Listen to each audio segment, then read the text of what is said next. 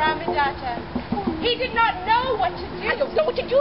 Either he could save his dream tree and let his palace collapse. Collapse. Oh, but he could not. I cannot do that. His servants, his family lived there.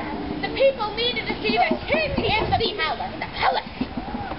Or, or he could chop down, chop down the most beautiful, beautiful living thing in all the world.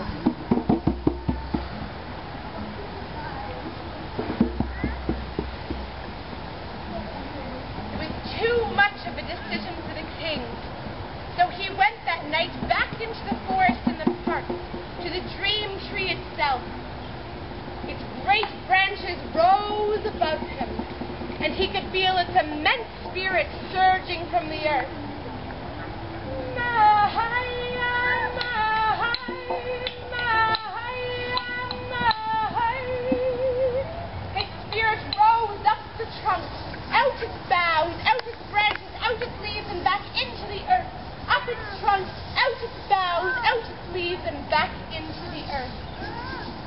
He prayed to the spirit of the dream tree for an answer.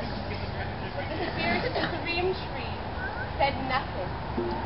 And so he decided to chop it down.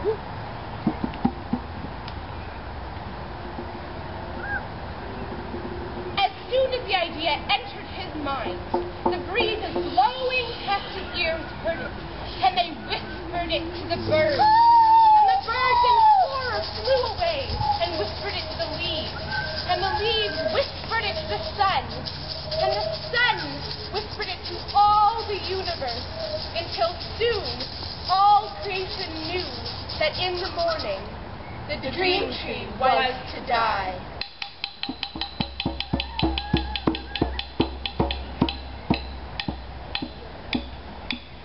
Deep in the park that night, the dream tree spirit, who had lived in her home for thousands of years, looked around, and the other spirits of the mighty, magnificent, and proud trees in the park joined her.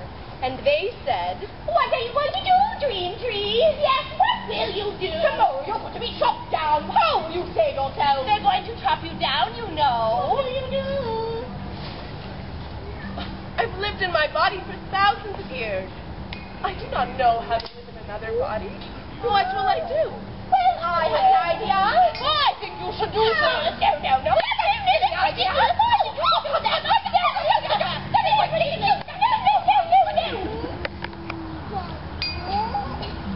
And although the spirits of the other proud, mighty trees had something to say, the dream tree spirit knew in her heart that they, they could not help her.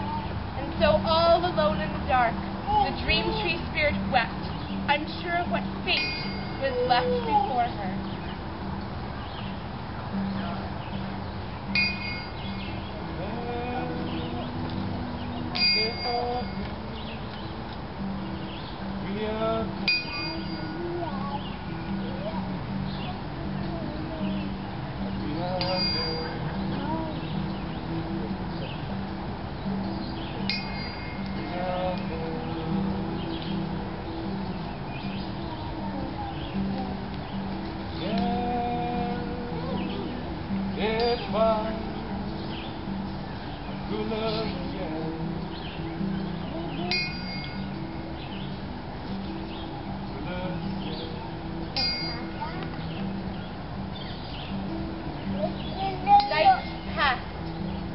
All alone she waited in the darkness.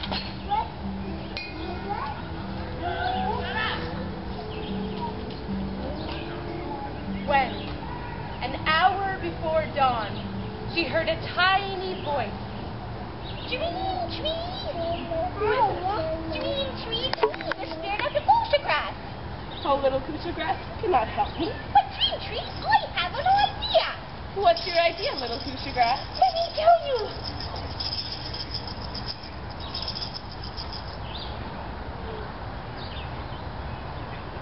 And so the spirit of the dream tree leaned down and listened to what the spirit of the Kusha Say. All night long they worked on their plan and made the preparations